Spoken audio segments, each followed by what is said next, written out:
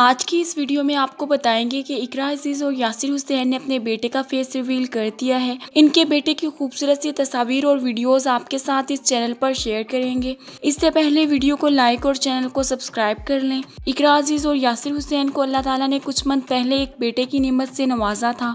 जिसका नाम इन्होंने कबीर हुसैन रखा था। पैदाइश से अब तक इन्होंने अपने बेटे के बारे में हर इन्फॉर्मेशन अपने फैंस के साथ शेयर की है, लेकिन इन्होंने अभी तक अपने बेटे का फेस रिवील नहीं किया था, जबकि फैंस इनसे बहुत बार रिक्वेस्ट कर चुके हैं कि वो अपने बेटे का फेस रिवील करें।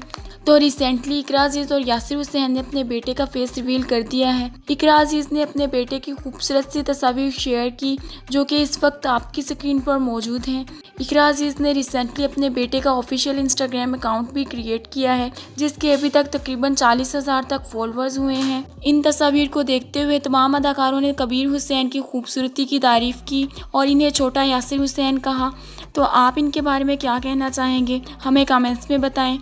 और अगर आप लोगों को वीडियो पसंद आए तो लाइक करें, इसके साथ चैनल को लास्ट में सब्सक्राइब करें। फिर मिलते हैं किसी और अच्छी वीडियो के साथ, तब तक के लिए अल्लाह हाफिज़।